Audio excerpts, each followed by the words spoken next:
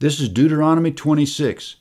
When the FedEx man brings you something, he rings the doorbell and walks away. But that's not how you bring something to God. Reading now verse 1.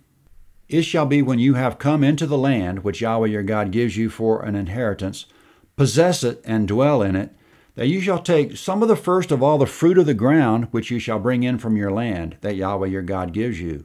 You shall put it in a basket and shall go to the place which Yahweh your God shall choose to cause his name to dwell there. You shall come to the priest who shall be in those days, and tell him, I profess today to Yahweh your God that I have come to the land which Yahweh swore to our fathers to give us. The priest shall take the basket out of your hand and set it down before Yahweh your God's altar. Comment Moses is describing an Israelite who has come into the land, the land Yahweh conquered for them, the land he blessed with productivity. The Israelite participated in all this, of course, but Yahweh went out of his way to make it happen. Therefore, some of the crop belongs to Yahweh. He's put some of all his produce in a basket. This isn't a tithe. A tithe couldn't fit in a basket. This is a ceremonial presentation of first fruits, a token amount of all the various crops he's produced. He brought the basket before the tent of meeting to the priest, and they set it down beside the altar. Now it's time for the Israelite to recite something by memory before the altar, some specific, astounding facts of history that brought him to this place. Moses says, verse 5 You shall answer and say before Yahweh your God, My father was a Syrian ready to perish. He went down into Egypt and lived there, few in number.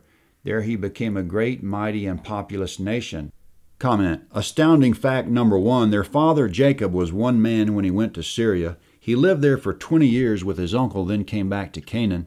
Then he and his family almost perished in a famine, but by a miracle, God brought them to Egypt and sustained them over time until they became a nation of about two or three million.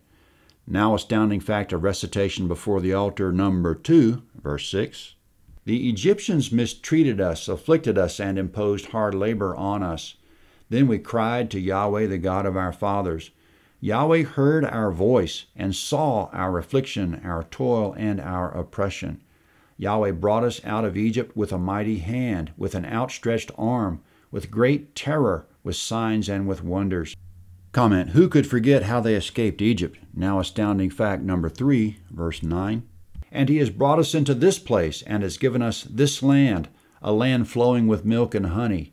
Comment Miraculously, a ragtag group of desert dwellers were able to attack and conquer the superpowers of Canaan, who are more numerous, greater, mightier, and fortified to the hilt.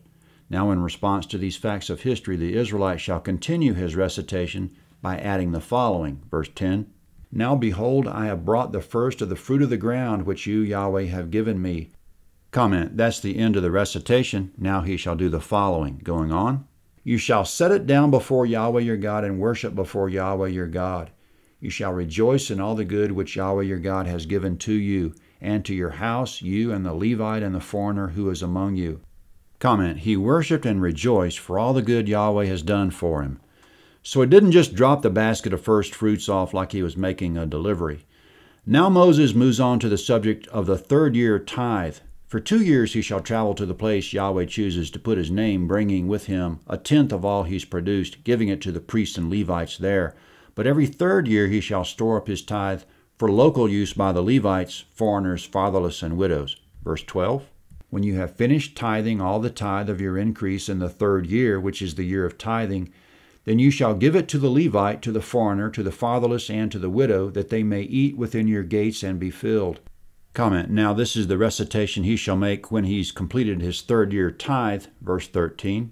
You shall say before Yahweh your God, I have put away the holy things out of my house, and also have given them to the Levite, to the foreigner, to the fatherless, and to the widow, according to all your commandment which you have commanded me. I have not transgressed any of your commandments, neither have I forgotten them.